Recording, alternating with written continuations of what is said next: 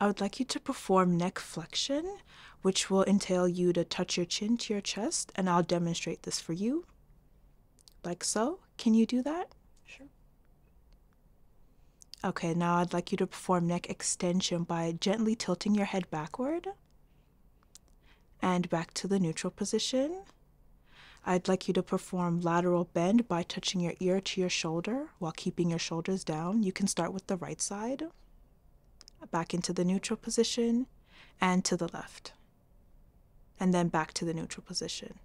And the last thing I'd like you to do is neck rotation by turning your head all the way to the right, and now back into the neutral position, and then all the way to the left, and then back into the neutral position.